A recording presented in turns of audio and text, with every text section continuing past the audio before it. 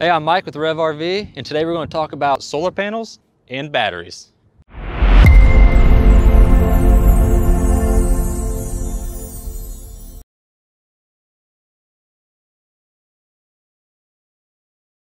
Hey guys, in this video we're going to try to answer some of the questions that are hard to answer on a broad spectrum. There's a lot of variables that can play a role in affecting the answer. And some of those questions are going to be where your solar power goes, how long your battery bank will last, how long it'll take your solar panel to charge your battery bank, and can you add an existing or another solar panel to your existing battery controller. Some of the things that can affect that is how large your battery bank is, are they deep cycle, your lifestyle, how much power you demand. So with this video, we're going to give you the information that you need to provide all these answers for yourself.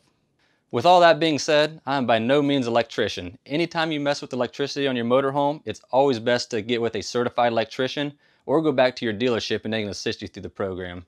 Let's dig into some of the information so we can figure this out. And so the first question, how does your solar power work? Where does the power go first? And essentially, no matter what option you have, you got your 100 watt solar panel or you have the 265 watt solar panel. All the power coming from the solar panel will go to your house batteries first. The house batteries take priority over the chassis batteries. And now when your house batteries reach 13.2 to 13.4 volts, we have a thing called a battery isolation manager. Don't have to worry about what that is. It's basically a electronical device that says, hey, the house batteries have a good charge on them. Let's take some of that power and we'll transfer it to the chassis batteries. And what that's doing is just giving you optimal performance um, of your solar panel. All of the power that it produces, we're putting into our batteries. So again, house batteries take priority over our chassis batteries in this situation. The next question is how long your battery bank will last. And there's a mathematical equation, it's easy, that we'll figure out and we can put plug that in and figure out exactly how long our battery banks is going to last. And to get that information, we need to go to our batteries and look on the label and get how many amp hours they are. For our example, we're going to use a battery bank of six 6 volt batteries at 225 amp hours.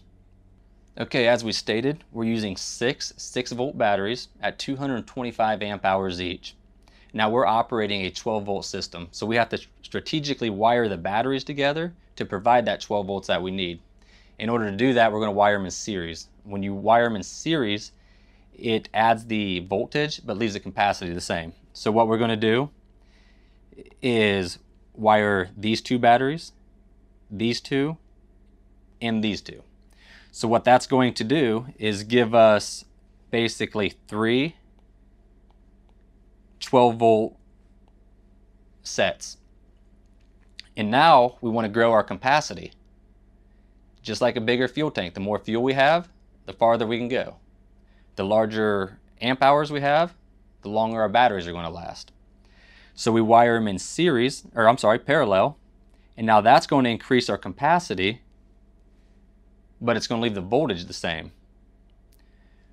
So we take these batteries that are 225 amps, add these ones, now we have 450 amps, and then add the last set, which gives us 675 amp hours.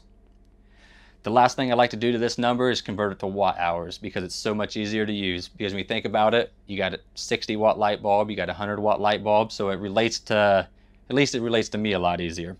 In order to do that, the only thing we do is multiply our amp hours times our voltage, which is 12.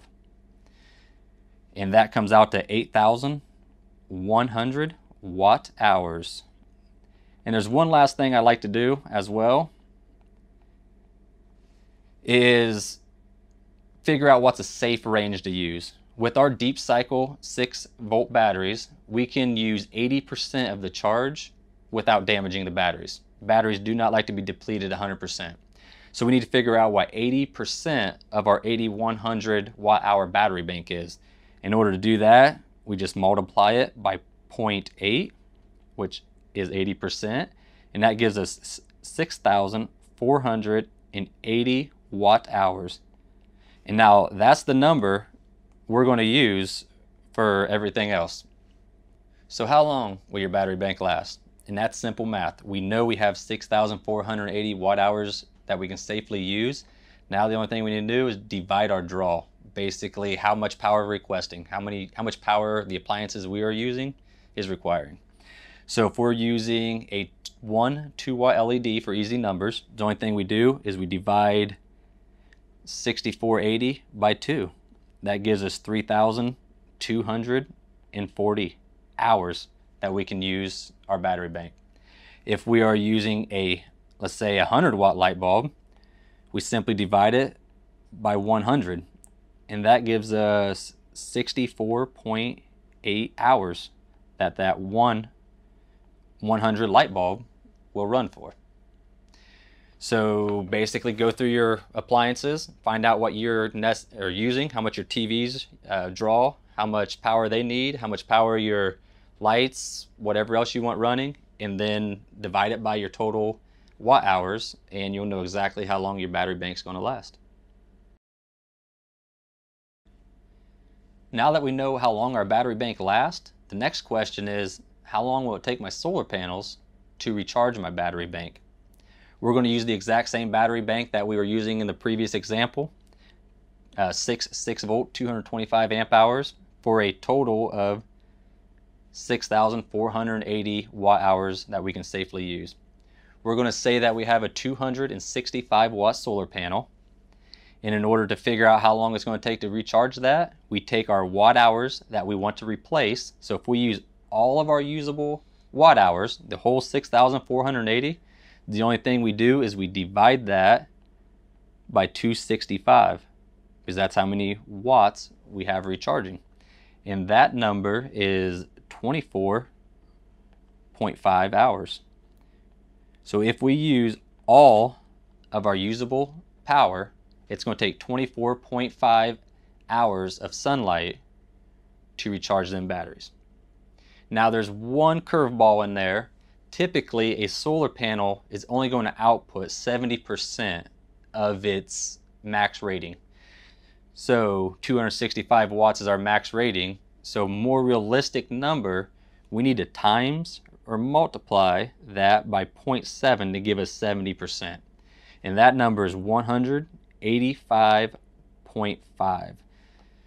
So now if we want a more realistic number about how long it'll take to recharge that battery bank, we need to take our 6480 and divide that by 185.5 and that number is 34.9 hours. And now again, we need sunlight to charge that. And the reason why it's taking so long is because we're using a large battery bank, which is good. And a slow charge is what you want because if you're char if you're recharging your batteries faster than they can handle it, that's another way to really shorten the length of your battery life.